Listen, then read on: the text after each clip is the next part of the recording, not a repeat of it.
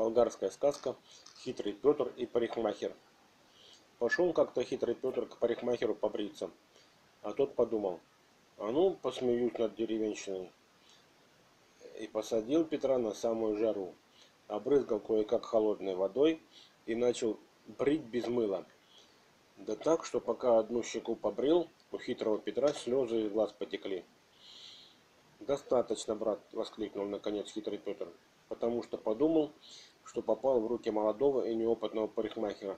«На тебе рубль от всей души, только пусти меня, я лучше пойду к другому парикмахеру.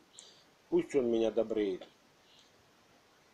Правду люди говорят, имеешь мерку муки, дай мастеру. Парикмахер этого и ждал, отпустил Петра недобритым.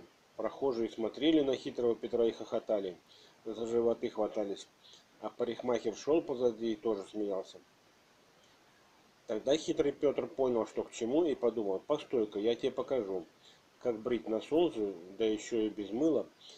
Посмотрим, кто будет смеяться последним.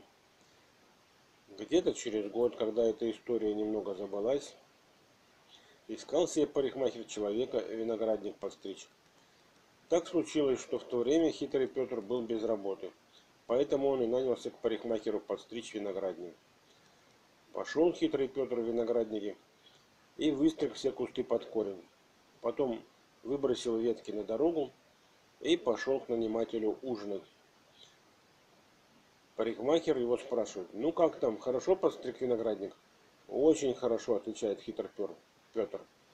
В другой раз его не придется трогать. И убрал. Да, ни лозинки, ни ветки не оставил. А лоза плачет, спрашивает парикмахер. Еще крак.